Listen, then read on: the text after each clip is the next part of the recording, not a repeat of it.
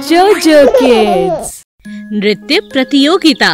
जंगल के सभी जानवर बहुत उत्सुक थे क्योंकि राजा शेर ने एक नृत्य प्रतियोगिता रखी थी और सभी उसकी तैयारियों में लगे थे।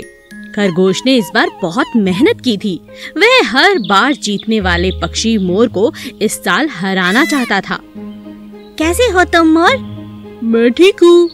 तुम अभ्यास नहीं कर रहे? इस बार खरगोश भी प्रतियोगिता में भाग ले रहा है और वह दिन रात कड़ी मेहनत करता है और उसका इस बार एक ही लक्ष्य है, तुम्हें हराना। मुझे, वह नन्हा खरगोश मुझे हराएगा। असंभव। सारी ज़िंदगी अभ्यास करे, फिर भी मेरे जितना अच्छा नृत्य नहीं कर पाएगा। इस बार भी देख लेना, मैं ही जीतूँगा। खरगोश मेरे दोस्त, यह लो, मैं मंदिर से प्रसाद लाया हूँ, इसे खा लो। आज प्रतियोगिता तू ही जीतोगे। मुझे तुम्हारी मेहनत पर बहुत भरोसा है, दोस्त। चलो, प्रतियोगिता जीतने चले। जैसे तुम्हें मुझ पर भरोसा है, वैसे ही मुझे तुम्हारे प्रसाद पर भरोसा है, दोस्त। आज की प्रतियोगिता मैं ही जीतूँगा। मैंने कड़ी मेहनत की है। और मैं दिखा देना चाहता हूँ कि कड़ी मेहनत करने से हर असंभव चीज़ संभव हो सकती है। हाँ दोस्त, इस मोर का घमंड हमें तोड़ना ही होगा। चलो, चलते हैं। दोनों दोस्त प्रतियोगिता के मैदान तक पहुँचे। प्रतियोगिता के समय सभी जानवर बहुत उत्सुक थे। कोई मोर को प्रोत्साहित कर रहा था और उसी के लिए आवाज़ें लगा रहा था तो कोई खरगोश के लिए ऐसा कर रहा था। सबसे पहले मोर को नाचने का मौका दिया गया। हमेशा की तरह मोर बहुत अच्छा नाचा। मोर के बाद अन्य प्रतियोगियों को एक एक करके मंच पर आकर अपना नृत्य दिखाना था। सभी का नृत्य अच्छा था, मगर उन सब के मुकाबले मोर का नृत्य बहुत अच्छा था। सबसे अंत में खरगोश को मौका मिला। खरगोश ने जी तोड़ मेहनत की थी। उसने इतना सुंदर नृत्य किया कि राजा शेर उठकर खड़े हो गए और तालियाँ बजाने लगे। वाह वाह वाह वाह, इतना सुंदर नृत्य तो मैंने पहले कभी नहीं देखा। आज का विजेता और कोई नहीं, हमारा खरगोश है। और सभी लोग तालियाँ बजाने लगे। मोर चुपचाप शर्मिंदा होकर वहाँ पुण्य कोटी पुण्य कोटी नाम की एक गाय थी। जो एक पुजारी के पास रहा करती थी, जो उसका खूब ख्याल भी रखता था। गाय भी पुजारी का बहुत ख्याल रखा करती थी। पुजारी के परिवार में पुजारी और उसके बेटे के सिवाय और कोई भी नहीं था। पुजारी का बेटा पढ़ाई में बहुत कमज़ोर था। पढ़ने लिखने में ध्यान दो बेटा, मैं एक पुजारी हूँ, व्यापारी नहीं। तुम्हें पढ़ लिख कर खुद ही अपनी ज़िंदगी बनानी होगी। कुछ पढ़ाई में ध्यान दो। हर साल तुम फेल हो जाते हो। जी पिताजी। अब आओ दूध पी लो। जी पिताजी। पुजारी का बेटा खूब दिल लगाकर पढ़ाई करता था क्योंकि वो हर बार की तरह इस बार फेल होना नहीं चाहता था। जब तक रात में वो जागता गाय भी जागती और जब वह सोता गाय भी सो जाती। इस तरह काफ़ी समय बीतता गया। गाय ने एक माँ की तरह हमेशा उसका ध्यान रखा और बहुत जल्द इम्तिहान आने पर वह अच्छे नंबर लेकर पास हो गया। पिताजी, ये देखिए, आज मैं पूरे स्कूल में सबसे ज़्यादा अंक पाकर पास हो चुका हूँ। पुजारी बहुत खुश हुआ। वाह बेटा, तूने जो कहा वो करके दिखाया। आज तो मैं बहुत खुश हूँ। चल मेरे साथ मंदिर, भगवान का आशीर्वाद ले लें। जी पिताजी, पर उससे पहले मैं पुण्य कोटि का आशीर्वाद लेना चाहता हूँ, जिसने एक माँ की कमी कभी मुझे महसूस नहीं होने दी। ये भी हमारे घर का सदस्य है पिताजी। बिल्कुल ठीक बेटा, आज तुम्हारी बातें सुनकर मुझे बहुत खुशी हो रही है। चलो चलो पुण्य कोटि को भी बधाई दें। हाँ पिताजी पुण्य कोटि ने भी मुझ पर बहुत मेहनत की है। उसने अपनी रातों की नींद मुझ पर न्यौछावर कर दी। अपना दूध पिलाकर मेरी नस नस में अच्छे संस्कार भर दिए। पिताजी, मैं इसका आशीर्वाद लेना चाहता हूँ। क्यों नहीं बेटा? ज़रूर। और इस तरह पुण्य कोटि का आशीर्वाद लेकर पुजारी और उसके बेटे ने उसका धन्यवाद किया। बत्तख और मुर्गी। एक तालाब में बहुत सुंदर बत्तख रहती थी। उसकी सबसे अच्छी दोस्त एक मुर्गी थी। हर रोज वह अपनी दोस्त बत्तख को मिलने तालाब किनारे आती थी। एक दिन बहुत तेज बारिश हुई। दोनों दोस्तों को एक दूसरे की याद आने लगी। अब तो कितने दिन हो गए, बरसात बंद ही नहीं हो रही। मुर्गी को यहाँ आए कितने दिन बीत चुके हैं। मैं इस बरसात से तंग आ चुकी हूँ।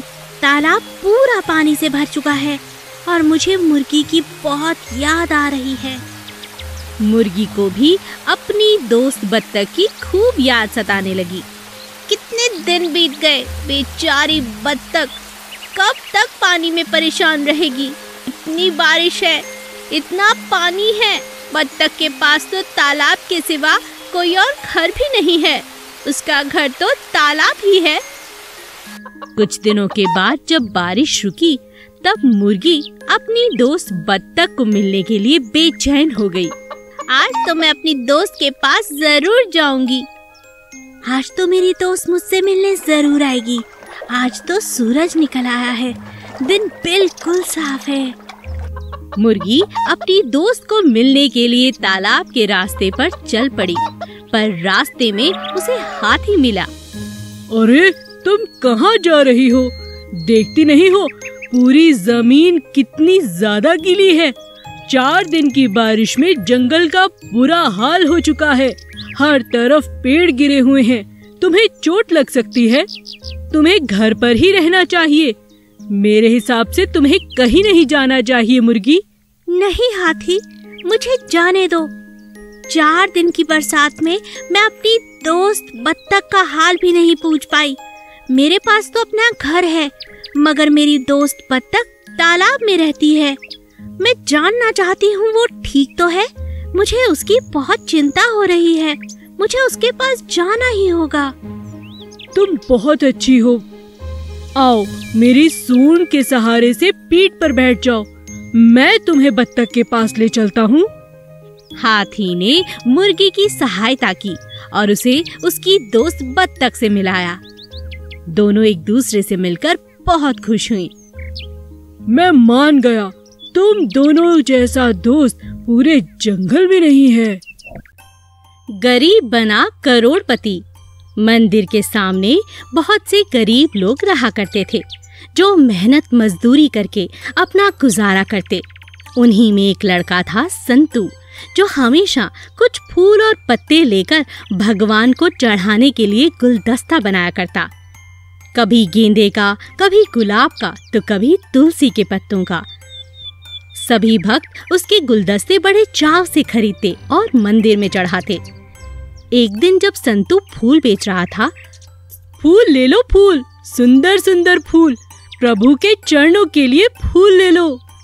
तभी वहाँ से एक सेठ गुजरा। अरे वाह, कितना सुंदर गुलदस्ता है, ये सब मुझे दे दो बेटा। सेठ ने सभी गुलदस्ते ले लिए और मंदिर में चढ़ा दिए। पुजारी ने सभी गुलदस्ते मंदिर में मूर्ति के आसपास लगा दिए। सभी लोग देखकर हैरान थे कि मंदिर कितना खूबसूरत लग रहा है। सेठ ने संतू से जाते हुए कहा, मैं तुम्हें रोज इतने ही पैसे दिया करूँगा। क्या तुम इन पैसों में रोज मंदिर के भीतर जाकर मंदिर की सजावट करोगे? जी हाँ ज़रूर करूँगा। अब हर रोज संतू मंदिर को सेठ जी के आने से पहले बहुत अच्छे से सजा देता। सेठ उसे खूब पैसे देता। एक दिन सेठ ने संतू को कुछ ज़्यादा पैसे दिए। सेठ जी, आज ज़्यादा पैसे क्यों? आज मेरी बेटी की शादी है। मैं बहुत खुश हूँ। बस इसीलिए। तुम रख लो। और हाँ शादी में ज़रूर आना। संतू बड़ा सा गुलदस्ता लेकर शादी में पहुँचा। उसने देखा, सेठ तो बहुत परेशान है। क्या हुआ सेठ जी? अरे बेटा, आज जो कारीगर सजावट के लिए मैंने बुलाए थे, वो अभी तक नहीं पहुँचे। और जानते हो, बारात आती ही होगी। संतू ने झट से पूरा घर सजा दिया। इतनी सुंदर सजावट की कि आने वाले बाराती सभी देखते रह गए। सभी संतू की तारीफ़ किए बिना नहीं रह रहे थे। अब एक एक करके सभी बड़े पैसे वाले लोग संतू को जानते थे। सभी ने एक एक करके संतू को हर बार मौका दिया और उसे अच्छा काम मिला। शादी में आए बहुत से लोगों ने संतू की तारीफ़ की और उसे खूब काम दिया। देखते ही देखते संतू अपनी मेहनत से करोड़पति बन चुका था और अब गरीबी उसे छू भी नहीं पा रही थी। सोने की माया मछली। दीपू एक बहुत अच्छा बच्चा था। उसे उसकी माँ रोज मछलियों को खाना डालने के लिए दिया करती थी। दीपू चलो बेटा जाकर ये खाना मछलियों को डालाओ। जी माँ। दीपू रोज खाना लेकर नदी किनारे जाता और मछलियों को बड़े मज़े से खाना खिलाता। मछलियाँ भी दीपू के आते ही खुश हो जाती। देखो देखो दीपू आ गया। हो हो चलो चलो खाना खाते हैं। सभी मछलियाँ दीपू की बहुत अच्छी दोस्त बन चुकी थीं। एक दिन जब दीपू मछलियों को खाना खिला रहा था उसने एक मछुआरे को वहाँ आते हुए देखा।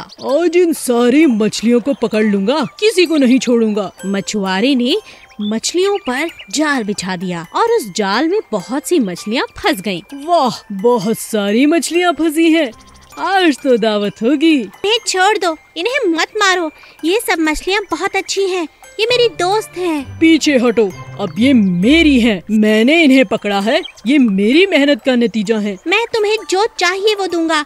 बस तुम इन्हें जल्दी से छोड़ दो। नहीं तो नहीं तो वे मर जाएँगी। दीपू रोने लगा।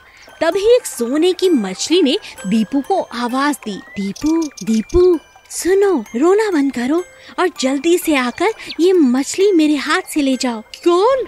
तुम बोल सकती हो। हाँ तुम उन्हें बचाना चाहते हो ना?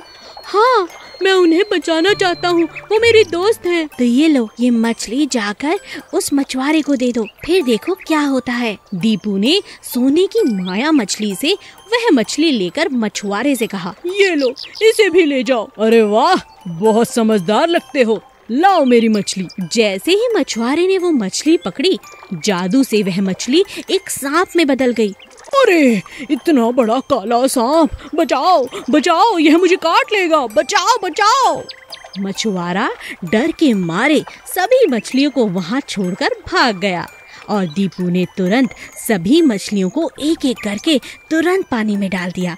सुनहरी मछली तुम्हारा बहुत बहुत शुक्रिया। तुम्हारे कारण मैं अपनी दोस्तों की मदद कर पाया। तुम बहुत अच्छे हो दीपू। मगर तुम बोल कैसे सकती हो? मैं माया मछली हूँ। हर नदी में एक सोने की माया मछली होती है।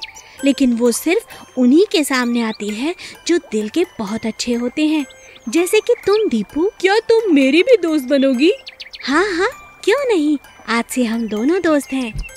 और इस तरह माया मछली ने अपनी सहेलियों और अपने दोस्त दीपू की मदद की।